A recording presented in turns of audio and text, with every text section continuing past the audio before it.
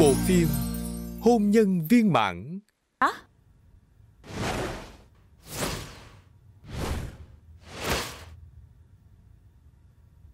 Mẹ, mẹ làm cái gì vậy? Kiểm tra trước khi mang thai. Mẹ à Không cần đâu. Lại bị cô ấy nói trúng nữa rồi Đúng là cái miệng quả đen thiệt mà. Miệng quả đen gì chứ? À, Ý của con nói là con mới có 33 tuổi Vẫn còn nhỏ mà. À, Trời ơi khả khả à. Con cảm thấy 33 tuổi vẫn còn nhỏ sao?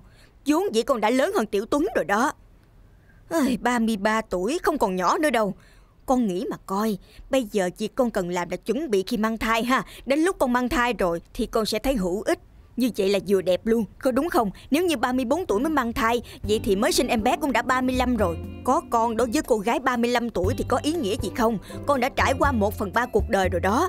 Bởi vì một đời người chỉ có 30.000 ngày, con đã sống 10.000 ngày rồi. Còn không nôn nóng sinh con hay sao hả? Mẹ à, mẹ càng nói càng đáng sợ. Con cảm thấy như mình sống gần hết nửa đời rồi. Quá đáng sợ luôn Không phải là đã qua gần một nửa rồi hay sao Chỉ còn 20.000 ngày nữa mà con không sốt sáng sinh con sao hả? Bởi vậy cần phải kiểm tra trước khi mang thai hứ? Nhưng mà có những người con gái cả đời này không sinh con Cũng sống tốt đó thôi. Sao con biết được cả đời người con gái không sinh con sẽ sống rất tốt chứ? Con đâu có nói mẹ đâu. Mẹ kích động như vậy làm gì?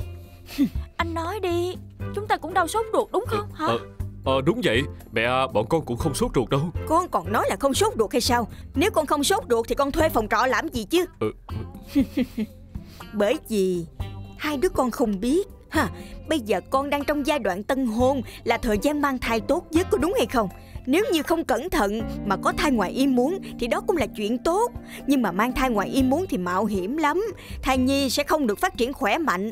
Nếu như thai nhi không được khỏe mạnh thì thì các con định sao? Như vậy sẽ không tốt cho các con. Bởi vậy kiểm tra trước khi mang thai là vô cùng quan trọng. Ngoài việc đó ra, cần phải bổ sung thêm các vitamin khác, um, canxi, sắt, kẽm Còn bổ sung thức ăn nữa chứ. Mỗi ngày mẹ sẽ hầm các loại canh cho con Canh xương, canh đuôi bò, canh gà ác, canh vịt. Tóm lại con gái phải dựa vào thức ăn Thì như vậy à, đứa trẻ sinh ra mới bụ bẩm được chứ. Như vậy sẽ rất là mập đó. Mập là đúng quá rồi Mập lên thì mới có sức để mà sinh con. Sinh con ra em bé mới khỏe mạnh được chứ. Bộ phim Hôn nhân viên mãn